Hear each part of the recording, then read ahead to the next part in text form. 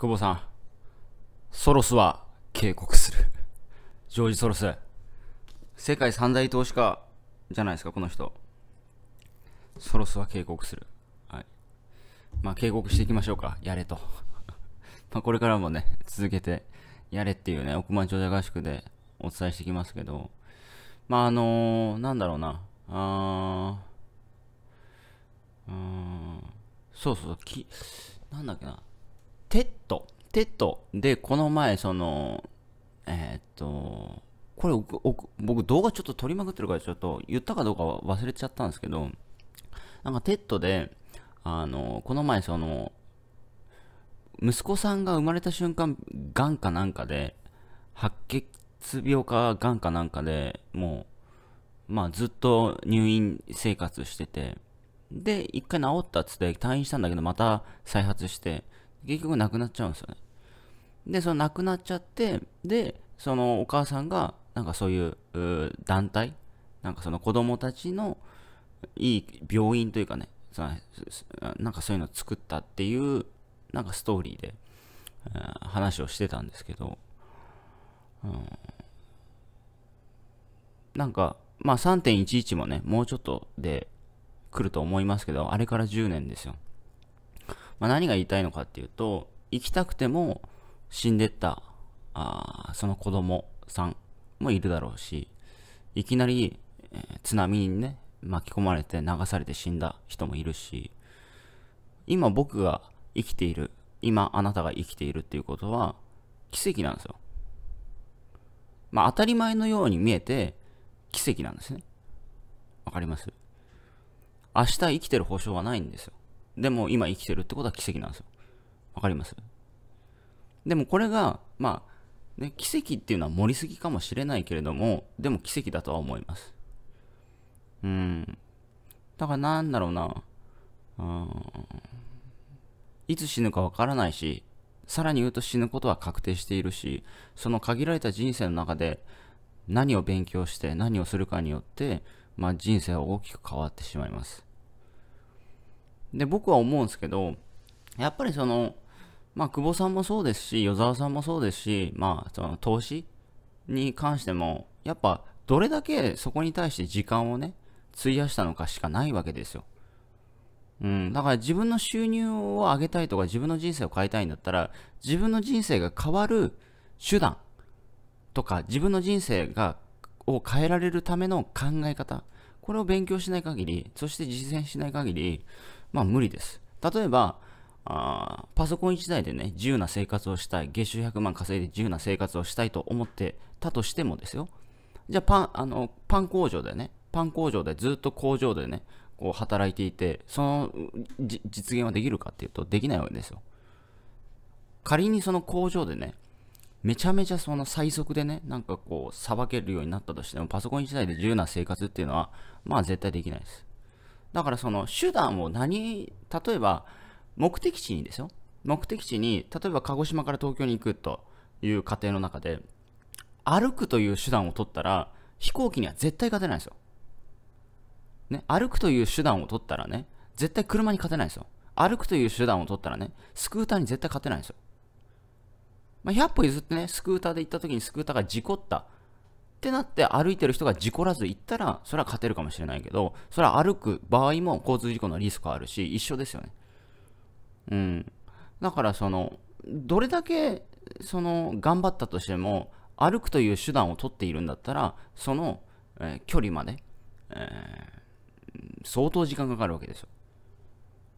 だから久保さんが麻雀店、麻雀店で働く、麻雀店を経営するという手段でね、えー、やっていたら、今破滅していたかもしれないですし、だからその、どの手段を取るのか、その自分の目的を達成するためにどの手段を取るのか。で、僕はなんで FX をこの手段としてね、一つの手段、ツールとして選ぶのかっていうと、まず情報発信において、あの、広告単価も高い、集客もできる FX の市場パイが一番大きい24時間やっている。っていうところで、あのなんだ、あとは FX 中毒者っていうのがいっぱい世の中にいるわけですよ。まあ、パチンコギャンブラーみたいなね、中毒症状の人がいっぱいいるわけですよ。ね。入れて入れて負けて入れて入れて負けてだけどそれでも取り返したい FX で負けた分は FX で取り返したいっていう人がめちゃくちゃいるわけですよ FX で負ける人まあ9割の人が負けるみたいに言われてますけど9割の人は FX で負けた時にどうなるかっていうと撤退するか取り返したいこっちのこの2曲ですで取り返したいと思ってる人は常に情報を見てますら僕にそこに対して集客できるしそこに対して商品売れるのでっていう側面だったりとかあとは資金を増やすことができる。当たり前ですけど。しかも一人でね。スマホ1台、パソコン1台で資金をいくらでも増やすことができる。レバレッジがかけられるんで。で、株に比べると、全然その、なんだ、少資金からでも一応始めることができる。株式投資は確か3倍ぐらいまでだったと思うんですよね。うん。まあ、その、海外の株とかわかんないですけどね。日本株だったら多分信用取引3倍あたりだったような気がするんですけど、あの、FX とかね、海外口座だったらもうかなりの倍率いけますし、まあ、いろんなことができます。だからその、応用がいっぱいできるってことですね、FX の方が。まあ、チャンスのあその枠が大きいっていう。チャンスの枠が大きいからみんなそこに行く来るんですけど、いろんな要素を含まれて投資であるならば、情報発信を主軸として考えた上でも、FX が一番ベストだろうというところで FX なんですね。うん。で、あとはまあ FX のね、あの、アフリエイト、まあ証券口座のアフリエイトとかもね、報酬高いですし いくらでもやるようにやっちゃいくらでもできるので、そう。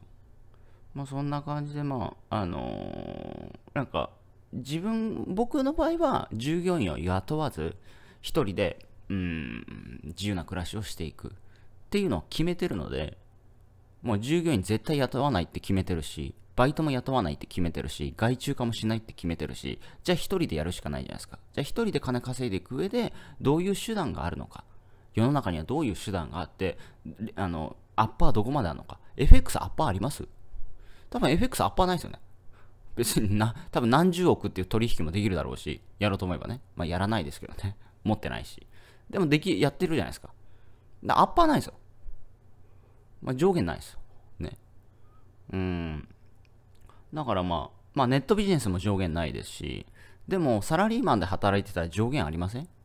収入の上限。で、その手段を取ってたら一生変わんないじゃないですか。だからやっぱ手段何するかっていうのはね、久保さんも3年で1億稼げたのも、麻雀店っていう手段からネットビジネスという手段に変えたからですよ。もしこれ本当変えてなかったらね、あの、今の人生ないですからね、久保さんも。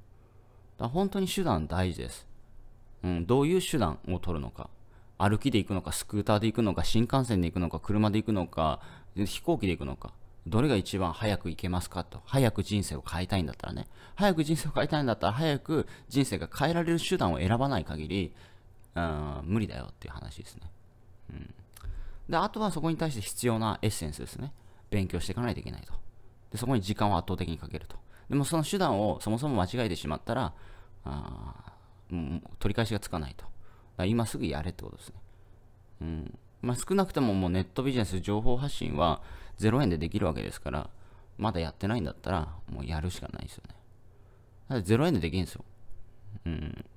久保さんも YouTube の広告収入10万切らないとか言ってましたけど、ね、それも言ってるわけじゃないですか。仮想通貨と投資系のね、広告単価めちゃめちゃ高いって言ってますよね。めちゃくちゃ。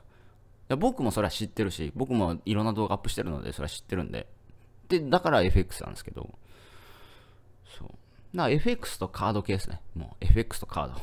投資系とカード。もうこれ鉄板です。クレジットカードか、まあ、とりあえずいろんなカード系ですね。広告単価非常に高いです、うん。はい、ということで、えー、やりましょう。いってらっしゃい。